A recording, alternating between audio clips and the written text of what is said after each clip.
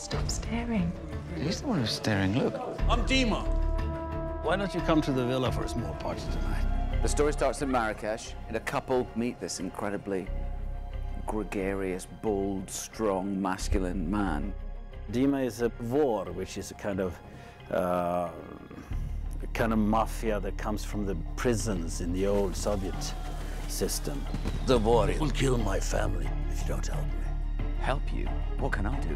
Dima sort of recognizes something in Perry. He's clearly looking for someone to help him. He's in dire danger. He and his family are, are going to be murdered for sure if Perry doesn't help him. Give this to your MI6. You tell them you have a gift from the number one money launderer from the Russian mafia. Dima sucks him into this extraordinary world, and Gail, because she's his wife, also gets sucked into it as well. I brought something over for Dima. Everything has consequences, Perry. This is maybe what Le Carre does best. He's put two civilian people into the world of espionage. He's plunked them right in the middle of this thriller. And that's really, really quite interesting, because you do think, what, would- what would I do? How would I react in this situation? Dima doesn't trust us. He'll only deal with us if you and Gail are there. I can't get involved. I'm afraid you are involved. This is a very pared down plot. It's not a whodunit in any way. It's more of a can they do it? So the suspense lies in a much more sort of Hitchcockian way. I can't guarantee your safety. They'll be coming after you.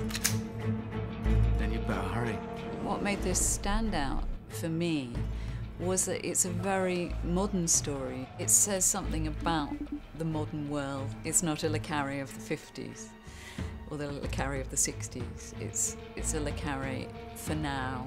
There's this kind of old world elegance about the Le Carre world, which is really beautiful. And the intellectual intrigue of the whole thing, of kind of working out and piecing together the story, I think people find that really fascinating as well. His books are about the human condition and the way people betray each other, love each other, kind of turn on each other, and, and much more human kind of um, concerns than just, you know, spy action.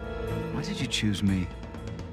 This film touches on real problems in our society today, which makes it important.